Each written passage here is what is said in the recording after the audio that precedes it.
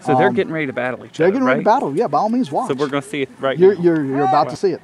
nine, eight, seven, six, five, four, three, two, one.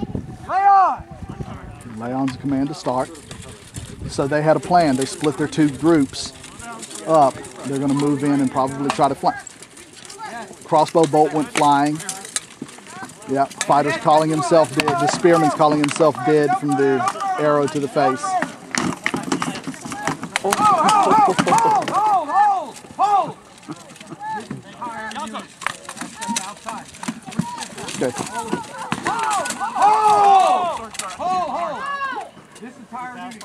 Way. So what you had was Tehran felt for safety they were pushing too close this way. Gotcha. So he called a hold to stop that uh, small group that was fighting right there, what we call a local hold. Right. The other guys, because they weren't involved in it, they kept fighting until a couple other guys fell down, and then they called a general hold to stop all the fighting. And everybody freezes in place. Everybody freezes in place, you know, relaxes a little bit, maybe takes a step.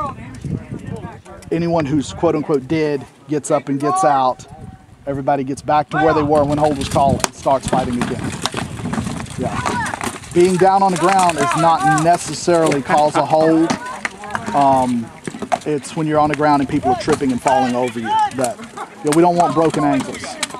And you'll see how they don't necessarily leave the field; they just fall back a little bit when Fall you're back, out. What are you waiting for?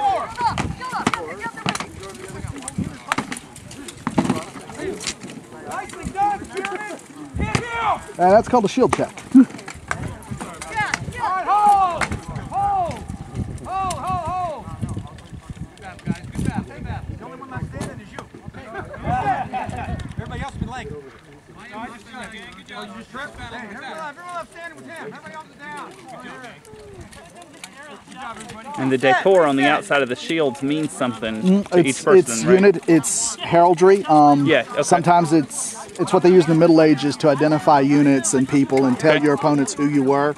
A lot of times, you needed to know your the enemy side's heraldry because I don't necessarily want to kill a knight. Mm-hmm. I want to capture him if I can, and then contact his family and have them pay ransom for it. Yeah. So I have to know what his heraldry is, or I can go, yeah, that guy, he's just a man at arms. There's probably nobody's going to pay ransom. right. I'm not going to capture him and then be responsible for feeding and protecting and clothing Absolutely. and all that. Yeah. He's just an enemy. Gotcha. But the knights, I, maybe I want to capture them and ransom them out.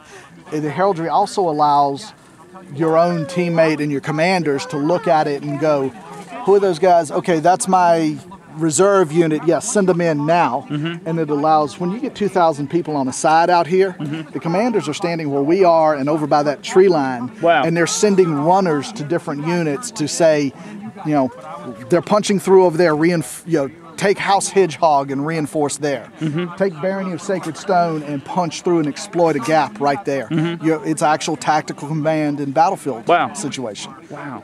One of the things I enjoy about the game. Yeah. So some of it is personal heraldry of the person. Some of the guys are fighting in unit levies. Um, so they'll have that group's heraldry on it, maybe not their personal.